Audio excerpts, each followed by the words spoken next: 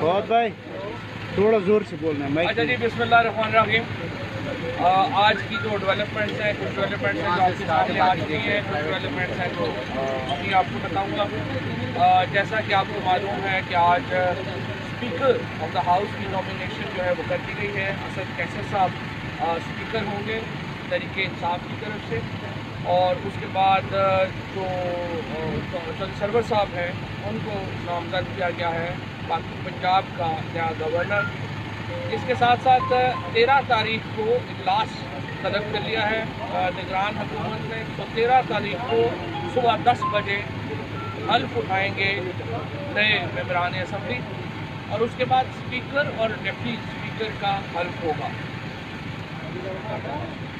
انتخاب ہوگا اور اس کے بعد ان کا حلف ہوگا۔ اس کے بعد ایک دن کے بعد پرائم منسٹر آف پاکستان کے لیے جو ہے وہ ڈویژن ہوگی جو طریقہ کار ہے آئین میں وہ یہ ہے کہ اسپیکر اور ڈپٹی اسپیکر کے لیے جو انتخاب ہے وہ خفیہ رائے دلی کے تحت ہوتا ہے، لیکن جو لیڈر آف دا ہاؤس یعنی پرائم منسٹر کا انتخاب ہے وہ بائی ڈویژن ہوتا ہے۔ وہ لابیز میں جو ہے وہ سامنے چلے جاتے ہیں، وہ وہاں پہ جو ٹکر ہوتے ہیں وہ ٹک کرتے ہیں کہ کس کے بعد کتنے لوگ جو ہیں وہ گئے۔ ہیں تو یہ جو پروسیجر ہے اس کو ختم ہونے میں دو سے تین دن لگیں گے۔ لہذا فیصلہ یہ کیا گیا ہے کہ حلف کی جو تاریخ ہے وہ اٹھارہ اگست ہوگی۔ ان شاء اللہ تعالیٰ جب عمران خان پاکستان کے وزیر اعظم کا حلف اٹھائیں گے حلف کی جو تیاریاں ہیں وہ کل سے شروع ہو جائیں گی۔ اس میں جو فہرستیں ہیں وہ بننا شروع ہو جائیں گی۔ کچھ مہمان جو باہر سے آئیں گے، جس کے اوپر فیصل آپ کو ڈیٹیل میں بھی بتائیں گے کون لوگ جو ہیں وہ باہر سے آ رہے ہیں۔ اس کے ساتھ ساتھ جو معاملہ ہے نئی کیبنٹ کا اور صوبہ پنجاب کے اور چیف منسٹر صاحب کا۔ وہ ابھی معاملہ ہنوز حل طلب ہے۔ اس کے اوپر ابھی کوئی نامینیشن جو ہے، وہ نہیں اس کے ساتھ ساتھ میں یہ بھی آپ کو بتاتا چلوں کہ عمران خان صاحب نے فیصلہ کیا ہے، وہ وزیر اعظم ہاؤس میں قیام نہیں کر رہے اور نہ ہی پنجاب ہاؤس میں قیام کر رہے۔ ہیں بلکہ منسٹر انکلیو میں ایک عام گھر دیا جائے گا، جو عام وزیر کا گھر ہے، اور اسی میں وہ جو ہے وہ رہیں گے۔ اس میں کچھ مرمت کا کام ہے۔ شاید اس مرمت کے کام تک پنجاب ہاؤس میں ان کو قیام کرنا پڑے، لیکن وہ بھی بتائیں گے۔ کوشش یہی ہے کہ وہ ایک خصوصی گھر میں نہیں جائیں گے اور وہ ایک عام گھر میں جائیں گے۔ یہاں پہ یہ بھی میں آپ کو بات واضح کرتا چلوں کہ بنی گالا میں یہ جو تمام سیکیورٹی ارینجمنٹ کیا ہے وزیر اعظم کے لیے اس کا اخراجات خود عمران خان صاحب نے اور پی ٹی آئی نے جو ہے وہ برداشت کیے عمران خان صاحب نے انفیکٹ خود ہی کیے ہیں انہیں کا پی ٹی آئی کا ہے۔ سارا معاملہ ایک روپیہ بھی اس جو اخراجات ہیں، یہ جو اوپر باڑ لگی ہے، یہ جو انتظامات ہوئے ہیں، یہ سرکاری خزانے سے نہیں دیا گیا۔ اسی طریقے سے جو رینوویشن اگر اس گھر کی چاہیے ہوگی، اس کو بہتر کرنے کا معاملہ ہوگا، تو وہ بھی عمران خان صاحب اپنی جیب سے دیں گے۔ اور اس کے لیے بھی ہم سرکاری کوئی جو فنڈ ہے وہ اس کے اوپر خرچ کرنے کا ارادہ نہیں رکھتے۔ آ، یہی وہ مثال ہے جو عمران خان نے وعدہ کیا تھا قوم سے کرنے کا کہ خود وزیر اعظم اور جو کابینہ ہے اس کو انتہائی سادگی اپنانی ہوگی۔ اس کے بعد ہی ہم باقی لوگوں سے یہ کہہ سکتے ہیں کہ وہ پاکستان کے لیے قربانی دیں اس وقت جو پاکستان کی معیشت جس طرح ہے یا جو باقی معاملات ہیں، تو ان شاء اللہ تعالیٰ اٹھارہ تاریخ کو یہ سارا عمل جو ہے وہ مکمل ہو جائے گا۔ تھوڑا سا جو مہمان ہیں، ان کے اوپر میں ویسے جوید صاحب سے درخواست کروں گا کہ ہمیں کچھ چیزیں جی بہت بہت شکریہ۔ جو ایک ہسٹورک مومنٹ ہے، کپتان جو ہیں حلف اسلامی جمہوریہ پاکستان کو اٹھانے جا رہے ہیں۔ تو بانوے کا جو ورلڈ کپ ہے وہ ہم سب کو یاد ہے۔ ایک وہ لمحہ تھا پاکستان کے لیے خوشی کا اور ایک یہ لمحہ آ رہا ہے پاکستان کے لیے خوشی کا۔ تو ان ساتھیوں کو عمران خان ضرور دعوت دے رہے ہیں، جو نائنٹی ٹو کے سپر سٹارز تھے، ورلڈ چیمپئنس تھے، وہ بھی اس میں شریک ہوں گے اور ٹیکنگ سیرمنی میں۔ اس کے ساتھ ساتھ جو دعوت نامہ عمران خان نے اپنے پرانے دوست جو ہیں کرکٹ کے ساتھی کپل دیو ان کو بھی بھیجا ہے، ان کو بھی مدعو کیا ہے۔ کپل دیو کے ساتھ ساتھ سنیل گواسکر صاحب ان کو بھی موضوع کیا ہے؟ سنیل گواسکر صاحب کی کچھ کامنٹ بھی کر رہے ہیں ٹیسٹ میچز چل رہے ہیں، شاید وہ نہ آ سکے لیکن ہم نے موضوع کیا ہے۔ اور اس کے ساتھ ساتھ سدھو سدھو جو کرکٹر ہیں نوجوت سنگھ نوجوت سنگھ سدھو صاحب، ان کو بھی موضوع کیا ہے اور وہ بھی تشریف لا رہے ہیں انشاءاللہ۔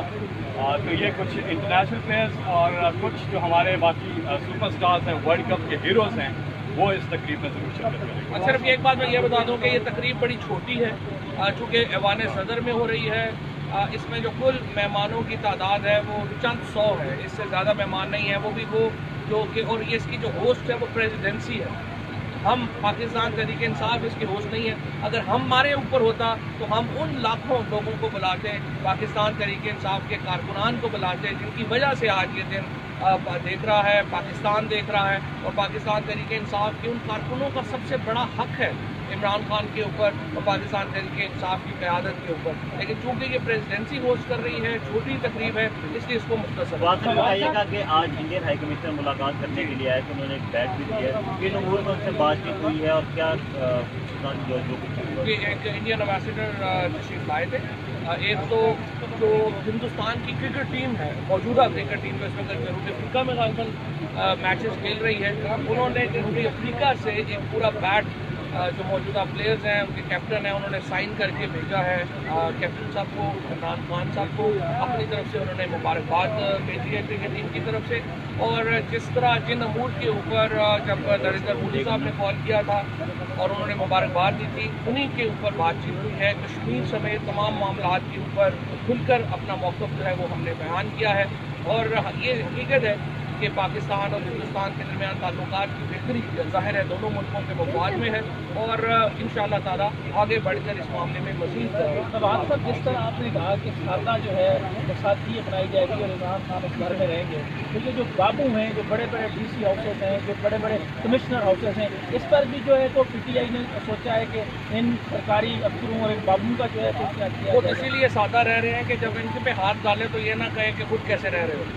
ان شاء اللہ تعالیٰ یہ تو ابھی شروع ہوئی ہے بات۔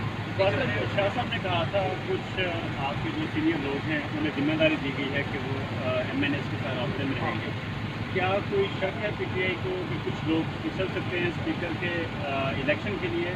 ہاں، یہ اس میں ہے کہ ہاں نون لیگ کے کچھ لوگ پھسل سکتے ہیں پہ اچھا،, اچھا جوئی یہ بتائیے گا باسط بخاری ثنا اللہ مستی خیز جو دونوں یہاں آئے اعلان کیا تحریک انصاف میں شامل ہو رہے لیکن دونوں نے پارٹی ٹکٹ کے لیے الیکشن کمیشن میں اپلائی نہیں کیا۔ اس کی کیا وجہ ایفیڈیوٹ سائن کر کے جاتے ہوئے وہ صاحب بھی باسط بخاری صاحب بھی۔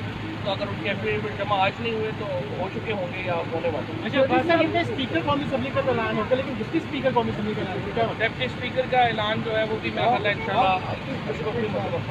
صاحب یہ بتائیں کہ بساریا آپ سے ملے کیا انہوں نے بھارتی وزیر اعظم کو کوئی مدعو کرنے کے حوالے سے بات ہوئی ہے یا کچھ شرکت کے حوالے ابھی مدعو کرنے کی بات نہیں ہوئی ہے۔ نہیں وہ تو جیسا ہم نے پہلے بتایا تھا کہ جو فورن آفس ہے اس نے پہلے ہی یہ ایڈوائز کیا تھا کہ چونکہ مدت بہت کورٹ ہوگی تو اس لیے سات کنٹریز کے لوگوں کو بلانا ابھی شاید ممکن نہ ہو سکے۔ تو یہ وقت کی کامیابی کی وجہ سے ہم نہیں بلا سکے، لیکن جو ہمارے تعلقات ہیں۔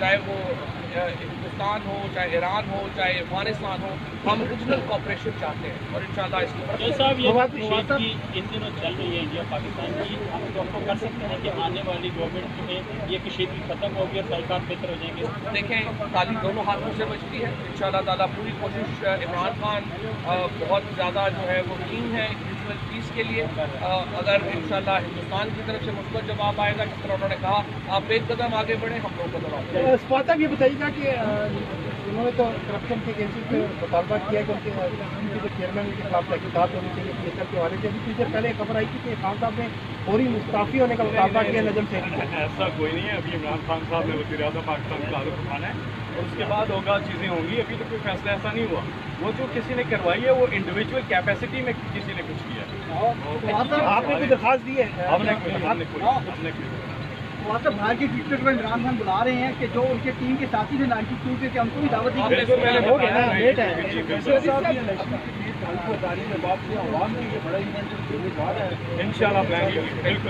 جیسے لاسٹ چیز کیا انڈین آپ عمران خان صاحب کو بھارت کے دورے کی دعوت وغیرہ دی؟ ابھی زیادہ تر جو ہے وہ بڑی جب باقی